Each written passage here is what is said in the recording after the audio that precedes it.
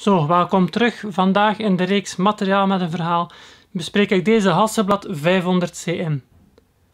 Dus ik heb deze camera gekocht omdat mijn grootvader had vroeger, die was eigenlijk dorpsfotograaf en had dergelijk type camera, een volledig systeem met verschillende lenzen in zijn bezit voor, om zijn werk uit te voeren dus eigenlijk. En mijn vader heeft dat dan geërfd en gebruikt dat nu nog. Dus ik wou al lang zelf dat type middenformaat camera en ik ben dan op zoek gegaan naar een tweedehands. Maar eigenlijk Hasselblad, dat is, uh, als we over middenformaat spreken, is dat het grootste merk. En nu nog is voor studiowerk is Hasselblad een van de grote, grootste spelers op de markt. Nu, deze zijn al vrij oud, dus dit gaat over een 500 cm type. Je hebt ook nog ouder is de 500C. De M staat eigenlijk voor Modified, dus is een iets verbeterde versie van die C. En dan heb je de 501, 2, 3 enzovoort. Zo verder loopt het op. En uh, voor mij is dit een uh, vrij dure uh, les geweest. Ik ben dus op zoek gegaan naar een dergelijk type camera. Op eBay vind je nog veel van die camera's. Juist omdat dat zo'n grote speler was en nog altijd is op de markt van de professionele fotografie zijn er heel veel beschikbaar. En ik had eerst dergelijke camera gevonden op eBay. Ik ben beginnen bieden en ik had uiteindelijk gewonnen voor iets rond de 700 euro. Maar dan uh, eens afgerond en eens betaald kwam het ene na het andere excuus. Uh, zoals de camera zou stuk zijn, moest hersteld worden enzovoort. En voor ik het wist was eigenlijk de periode voor het indienen van een klacht verlopen. En had ik nog niets ontvangen. Plus dat ik sowieso zo dom geweest was van via overschrijving te betalen. Ik had pas achteraf gezien dat het om een overschrijving ging, of wat enkel overschrijving aanvaard werd. En ik had beter op dat moment eigenlijk al geannuleerd, maar ik had toch het geld overgeschreven. Dus eigenlijk komt het meer dat ik mijn geld kwijt was. Dus als les, als je op eBay aankopen doet, altijd via PayPal betalen. En ook altijd zeker de maximale periode in het toehouden, houden, denk dat is 30 dagen na aankoop, voor het indienen van een klacht. Nu, ik heb dan uiteindelijk een ander model gevonden. Deze heb ik iets meer voor betaald, maar ik heb hem uiteindelijk wel ontvangen. Dus het geld is mij wel waard geweest. Dus het is een 500 cm, het is een middenformaat camera en eigenlijk de Hasselblad-series zijn volledig modulair opgebouwd. Dus dat betekent dat je dit, dit is eigenlijk de filmcassette, die kan je losnemen. En daar zou je dan je rolfilm in laden. Dus zoals je zegt is het een middenformaat camera.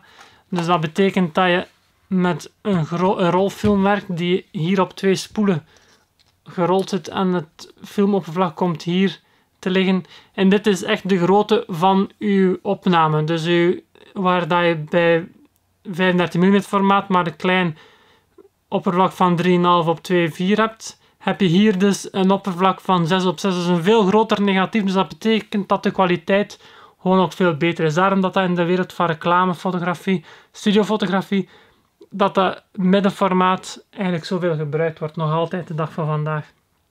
Je hebt kleinformaat, dat zijn uh, de full-frame camera's, maar ook de APS-C, dus de, crop sensor formaat, alle digitale dingen.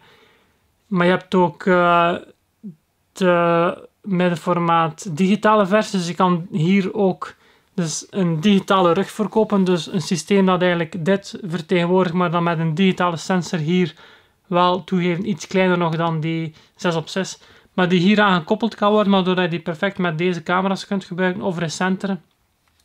En dan heb je natuurlijk ook nog de grootformaat uh, camerasystemen. Nu, om verder deze camera te bespreken, dus volledig modulair. Dit was nu de filmrug die ik eraf gehaald heb. Hier zit nog een slide in. Dat is dat metalen frame. Als ik dat eruit haal, dan zou ik mijn film die nu geladen is belichten. Dus dat ga ik even niet doen. Voor de rest zit hier een, uh, een zoeker op. Dit is een, uh, een zoeker waarbij dat je boven door, erdoor kijkt. Dus dan hou je de camera eigenlijk ongeveer op je middel. En kan je van bovenaf door de zoeker kijken. Op het matglas ook, dat, ook die zoeker kun je vervangen. Dat matglas kun je vervangen. Je kan andere zoekers monteren. Bijvoorbeeld zoekers waarbij dat je vergelijkbaar met een spiegelreflex dat je via een uh, prisma systeem zo erdoor kijkt, wat dan weer spiegeld wordt door die prisma, dat je uiteindelijk zo door de lens kijkt. Dus je kijkt ook zoals bij een spiegelreflex door de lens. Dus dat systeem kijkt recht door de lens met de spiegel die ook in de camera zit. Die spiegel heb ik nu niet laten zien. Dit is eigenlijk een spiegelreflex ook trouwens, qua structuur. Ik kan de spiegel denk ik wel laten zien. Dus uh, dit stuk is ook modulair. Dat is eigenlijk om naar het volgende frame te gaan. Je hebt daar ook verschillende versies van. En je kan dat daar gewoon afnemen. En een andere versie, je hebt de draaiknoppen, je hebt nog snellere systemen. Kan je gewoon vervangen door een andere optie. En als ik nu afdruk en het sluitergordijn, dus dit is enkel een sluitergordijn. Dit controleert niet de snelheid van uw filmopname. Maar als ik die nu even ontspan, dan zou je als het goed is de spiegel kunnen zien.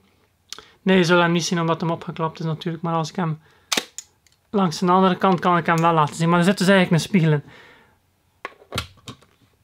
Ik zal de lens even afnemen en dan kan ik de spiegel laten zien. Ook om de lens af te nemen moet je het systeem opwinden. Dus alles is volledig analoog. Je, hoeft, je hebt wel geen ingebouwde lichtmeter. Je hebt lichtmeters die je erop kan aansluiten. Maar alles is volledig analoog. Dus geen batterij, dus je moet zelf naar het volgende frame winden.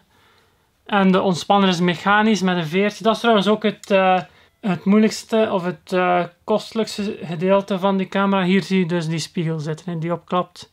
Nu heb ik de lens even afgehaald. Dus wat ik daarnet zei nog van dat gordijn dat je daarnet zag, dat is dus eigenlijk niet de sluiter. De sluiter zit bij dit type camera's in de lenzen verwerkt. Dus dit is echt gewoon een box met een spiegel. Die spiegel dient om het licht naar de zoeker te weerkaatsen. Maar het uh, sluitergeheel, dus het controleren van de snelheid, zit in uw lens ingebouwd. Dus juist omdat dat in die lens ingebouwd is, zijn die lenzen niet zo goedkoop.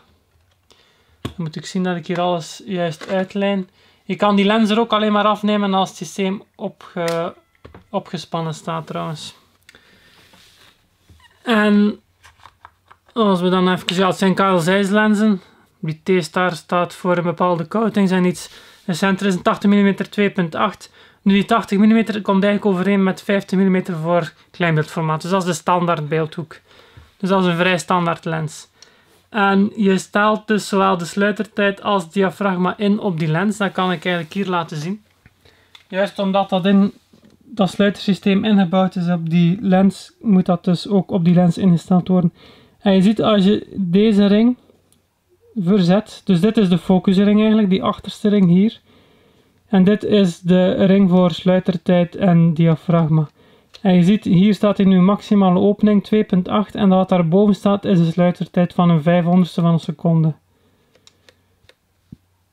En het systeem is zo gebouwd dat je eigenlijk een combinatie kunt instellen. Dus hier 60 dus 60 van seconde diafragma 8.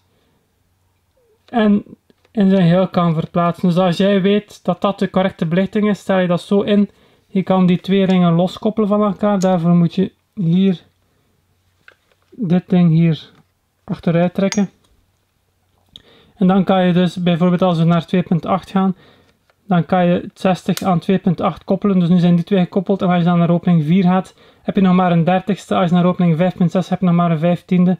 Enzovoort. Dus zo kun je heel gemakkelijk voor een bepaalde belichting. Dus dit is een belichting. Ook die lichtmeters zijn daar volledig op gebouwd. Dus die gaan een bepaalde belichting gaan voorstellen. En dan kan je die gewoon zo, die combinatie instellen. En vervolgens andere combinaties kiezen. Zonder dat je eigenlijk de belichting aanpast. Het enige wat je hier aanpast, dus je bekomt exact dezelfde belichting. Het enige wat je hier bij het verzetten van dit aanpast, is hetgeen dat je hier ziet. Die rode vakjes, die komen altijd maar dichterbij. En dat is uw scherptedieptebereik. Dus omdat we naar 2.8 gaan, wordt uw scherptediepte altijd maar kleiner. Gaan we naar 22, dan is uw scherptedieptebereik veel groter. Dus dat is wat de lens betreft. Het zijn zeer robuuste camera's. Ze zijn ook bedoeld voor professionele toepassingen. Dus die kunnen tegen een stootje.